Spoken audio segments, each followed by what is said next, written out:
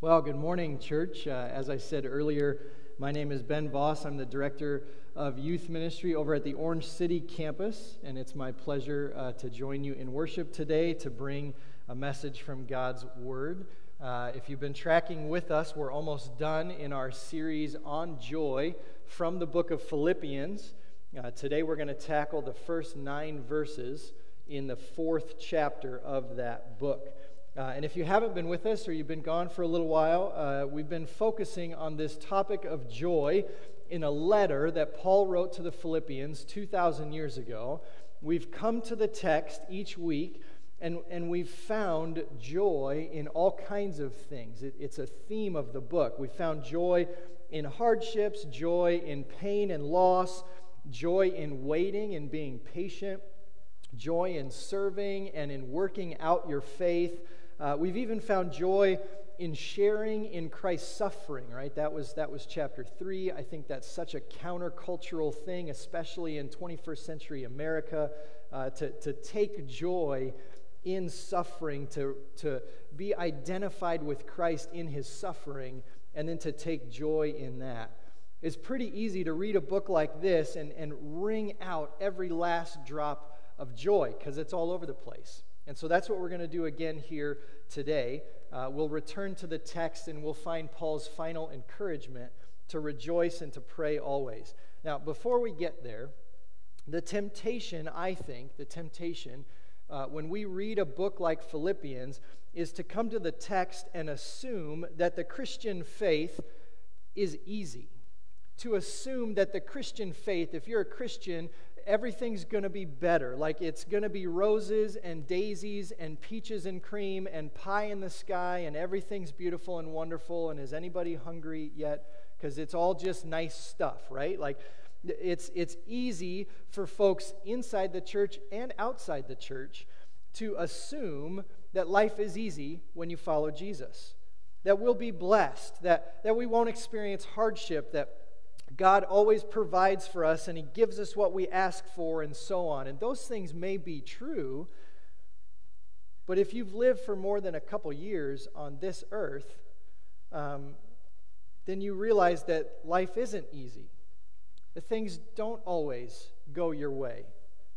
That God doesn't spare His children pain or loss or divisions or hard things. Being a Christian, some might say, is even more difficult, is even more anxiety producing, even more um, depressing than not being a Christian, right? When, especially if you think about certain places in our country or certain parts of the world that we live in, right? Being a Christian, it's as if you have a big target on your back. That when you say yes to Jesus, when you sign up to follow him and be his disciple, now people are coming for you. It's harder to be a Christian, you could say. And all you would have to do is look at some of the research behind anxiety and depression and self harm and suicide and the prescription meds that are, are given for all of these issues in our country alone to realize that life isn't easy. Life is hard. Christian or not, we worry. We're anxious our minds don't stop. We keep trying to pull from tomorrow the anxiety that exists in the future and bring it into the present with us, right? Like Jesus talked about this in the Gospels of Matthew and Luke. He says, he says, Don't worry about tomorrow. He says, just about little things like food and clothing, right? Let, let them take care of themselves tomorrow. You focus on today. That's the encouragement of Jesus. And we'll find similar encouragement from Paul here at the end of Philippians. Today, we have to look at what it means to rejoice always, to pray about everything in the midst of anxiety, in the midst of worry, in the midst of fear. So, if you brought your Bible, or I guess you maybe didn't bring your Bible, hopefully you have a Bible at your house somewhere. Uh, I invite you to find that Bible, dust it off a little bit, and turn to the book of Philippians. Those of you who are here, I'd like you to turn to Philippians 2. Uh, if you don't have a Bible, you should be able to see the words on the screens behind me. We're going to read verses 1 through 9 of chapter 4 in Philippians. And it goes like this Therefore, my brothers, or brothers and sisters, whom I love and long for, my joy and crown, stand firm thus in the Lord, my beloved. I entreat Euodia and I entreat Syntyche to agree in the Lord. Yes, I ask you also, true companion, help these women who have labored side by side with me in the gospel, together with Clement and the rest of my fellow workers, whose names are in the book of life. Rejoice in the Lord always. Again, I will say, rejoice. Let your reasonableness be known to everyone. The Lord is at hand. Do not be anxious about anything, but in everything, by prayer and supplication, with thanksgiving, let your requests be made known to God. And the peace of God, which surpasses all understanding, will guard your hearts and your minds in Christ Jesus. Verse 8 Finally, brothers, whatever is true, whatever is honorable, whatever is just, whatever is pure, whatever is lovely, whatever is commendable, if there is any excellence, if there's anything worthy of praise, think about these things. What you have learned and received and heard and seen in me, says Paul, practice these things, and the God of peace will be with you. This is the word of the Lord. Thanks be to God. Now, as, as I see it, as I wrestled with the text in the last couple of weeks, these verses can be broken down into three distinct sections. The first section is verse 1. It, it, really should be a part of chapter 3. We just decided to divide it up a little differently when we translated it into English. But verse 1 of chapter 4 is the finishing of the end of chapter 3, right? Whenever you see a therefore in the text, you should circle back to the previous paragraph or the previous chapter and try to discover what the author is trying to connect, right? There, there are two things that the author wants to connect. Whenever you see a therefore, you need to figure out why it's there for, right? I know that's bad English, but helps me remember. So, verse 1 says, Therefore, and it links the readers back to the idea that our citizenship is in heaven. Right? That's the end of chapter 3 that, that uh, Paul wants the Philippians to stand firm in the fact that we don't belong to this world, that we were made for a different world, that, that our final resting place will be with God in heaven for all of eternity, that what's happening right now is not the end of the story. So he says, Stand firm that our bodies will be glorified just like Jesus' body was glorified, right? That, that this is what we have faith in. This is what we hope for. That one day we'll see Jesus for who he really is. And when we see him, we'll be made like him in his glory, right? That's, that's what our liturgy says whenever we come to the table and celebrate communion. That one day with unveiled we eat this meal in hope and the hope is that we will see Jesus for who he really is. And then we'll be made like him in his glory. So Paul, Paul is just circling back and saying that's what you should stand firm in. That's what you need to bank on. Is that one day we'll see Jesus, that our citizenship is in heaven. The second section of these verses is verse 2 and verse 3. Look back at the text with me for a moment. There are two ladies in the Philippian church who are at odds with each other. Now, we don't know the nature of their disagreement. The text really doesn't give us any clues. We don't know much about the context of their disagreement or their argument, right? If this has been going on for months or if this was just a recent thing. Um, we do know that Paul thinks very highly of these ladies, right? He sees their discouragement as a smudge on the sterling reputation of the Philippian church. Right? Euodia and Syntyche have worked so hard for the gospel. That's what Paul says, right? It would be a shame for their work to be in vain simply because they can't get along in this present moment. And so Paul encourages them to mend fences, to, to figure out how to get along. He even asks another church member to come and help them reconcile for the sake of their church and for the sake of the gospel of Christ.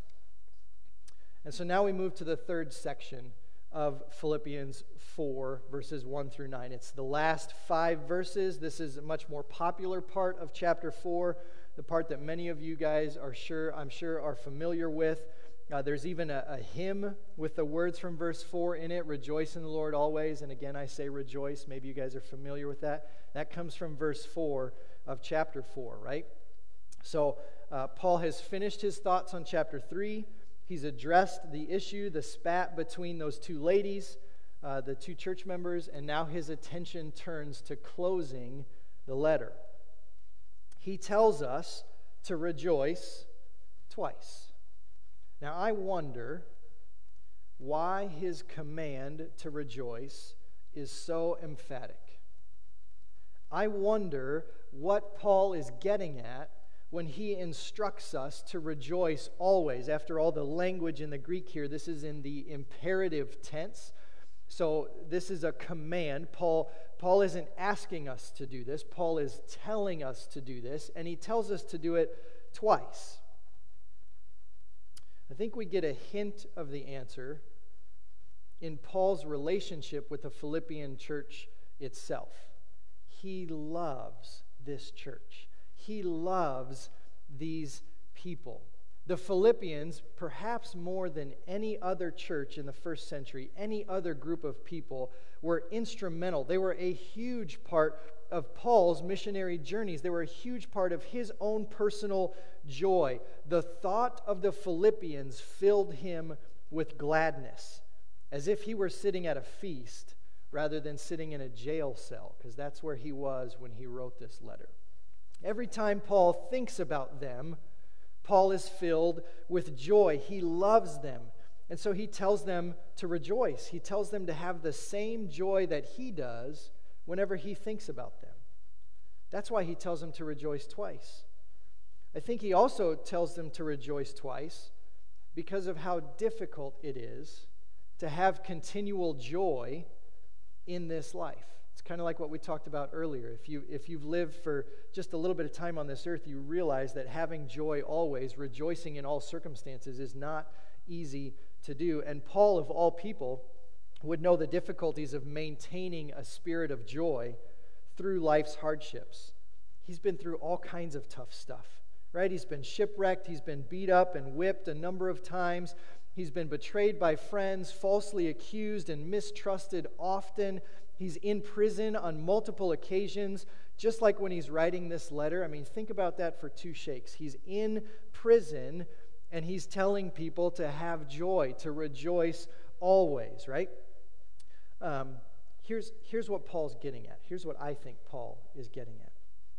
Having joy is a practice, it's something you need to work at, something you must work at, like building muscles.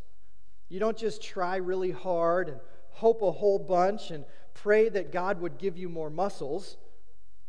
Rather, you find some weights. You get in the gym you go for a run. Maybe you even hire a personal trainer, and then you start sweating.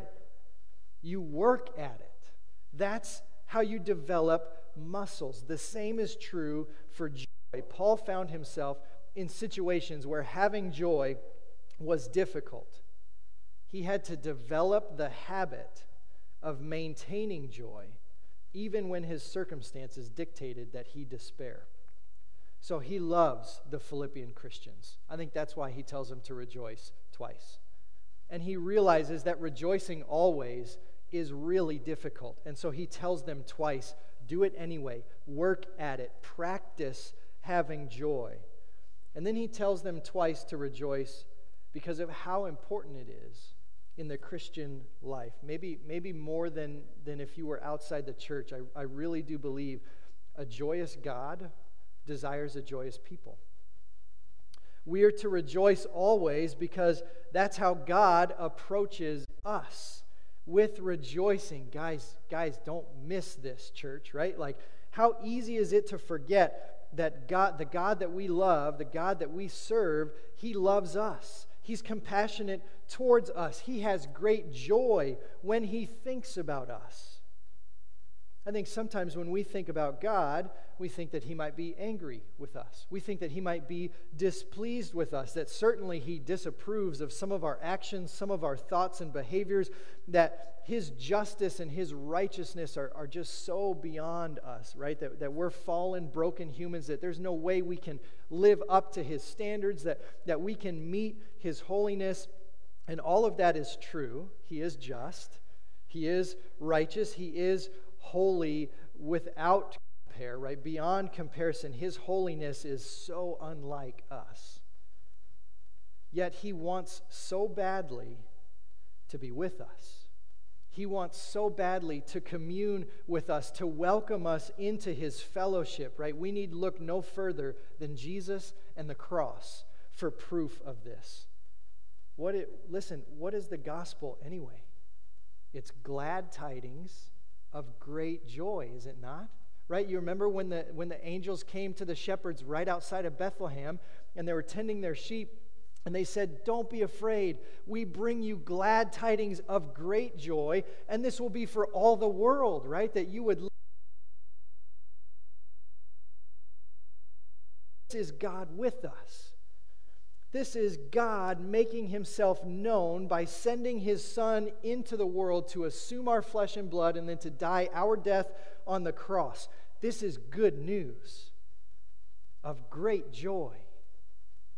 Paul says you should rejoice always. I'll say it again rejoice because this is crucial to what it means to believe in Jesus. It's foundational to what it means to be a Christian. It's the gospel. So we're called to rejoice. Then Paul switches gears a little bit. He uses a watchword for early Christians there at the end of verse 5. He says, The Lord is at hand. This is key. When the Philippians read that phrase, their ears would have perked up. They would have been reminded again of why they have joy, and where they place their joy. See, for the early Christians, as it should be for us, the return of Christ was a guarantee. They were so sure of his return, and not just of his return, but of his immediate return. Jesus coming back was imminent. Just a little while longer, they would say, and Jesus will come back. If we can just wait a bit more, we'll see him again. We just need to hang on because whatever we're facing, whatever injustice, whatever trial, whatever difficulty is going on right now in our lives, it'll be over soon because Jesus is coming back. Jesus will return. They believed this so strongly. The Lord is at hand, says Paul. This belief allowed those Christians not only to rejoice, which is what Paul just told them to do but it also believed that uh, it, it also helped them it enabled the early christians to not be anxious. So the first command is rejoice. The second command is don't be anxious. Again paul's not asking us to do this.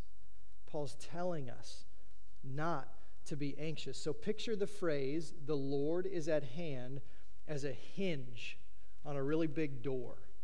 And as this hinge swings the door one way, you see scribbled on this side of the door, rejoice always.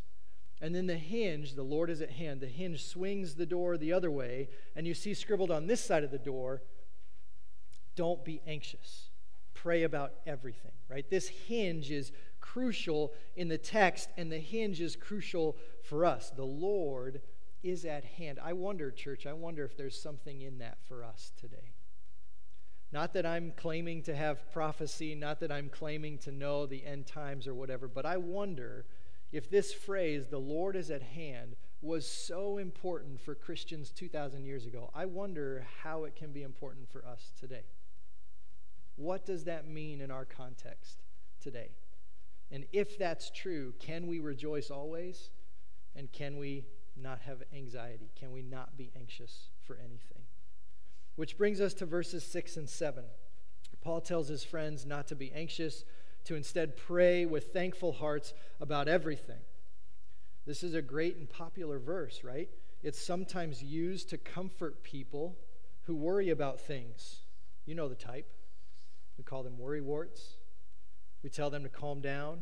We call them to take a chill pill, not to worry as much, as if worrying as much was something that they could control completely. And yes, perhaps worry or the attitude and the posture of worry is something that we can at least monitor something we can maybe change like we like we change the temperature in the room by going to a thermostat and hitting a few buttons but i also wonder if what paul is encouraging the philippians with goes a bit deeper than that that, that it's more than just pushing a few buttons in our heart or pushing a few buttons in our mind and now our anxiety ratchets down because I think anxiety and worry and fear can sometimes be a whole lot bigger than the pet names we give them. Anxiety and fear can be a whole lot more serious than just getting over it, than just figuring out a way to move on and, and move on. I think Paul knows this. I think God knows this. And yet, right here in Scripture, we have this admonition not to be anxious about anything. So, what does Paul mean by this? I think he means a couple things. First, the command should not be taken as a call to perfection. Spiritual freedom, real joy for most of us, won't put an end to all the worldly anxiety. Spiritual freedom, real joy, I think instead can put worldly anxiety in its place where it can be easily handled right? See, this isn't the ceasing of anxiety, and it's certainly not the dismissal of past anxiety or worry or fear. Paul isn't telling us to get rid of all of that and to pretend like it doesn't exist. What he's saying is that through prayers, through rejoicing, God wants to do a work of redemption in your anxiety, concerning your anxiety. God doesn't want us to forget our worries, He wants to redeem our worries. Those anxieties, those fears, those issues all make you who you are in this very moment. To forget them or to deny them or to pretend they never existed would be to rob God of the opportunity to redeem all of that mess. He's not saying forget your anxieties. He's not saying get over your fears and your insecurities.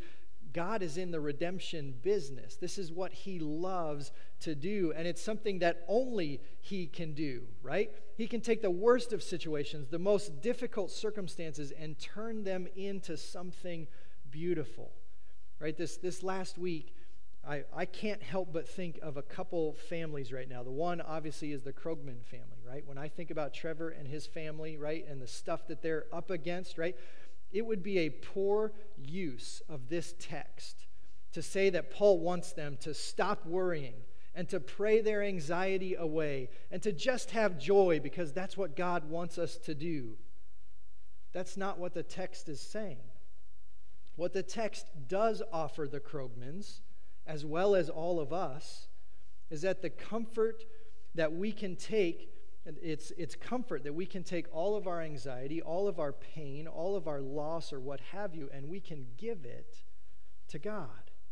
Cast all your cares on Him because He cares for you, right? That's, that's how the Apostle Peter puts it when he writes a letter to early Christians. Right smack in the middle of the hard, that's where we find joy. That's where we can experience peace because our God is a God who redeems all the hard. He's a God who makes beautiful all the messy stuff. So we take all of our stuff to God. We put God in first place, and we put all that other stuff in second place. And then we experience peace, right? There's this, uh, this other family I, I mentioned. That they're personal friends of ours from a church that we served in Texas. Their names are Chad and Christy. Uh, their, their almost 15 year old son died on Tuesday this week. And I'm planning this sermon and I'm reading through Philippians, and it's like, boy, there's joy everywhere, right? Like, I'm supposed to rejoice, and I'm not supposed to be anxious, and it's like, good golly, what do I say to the Copels? How do I, how do I respond to that, right?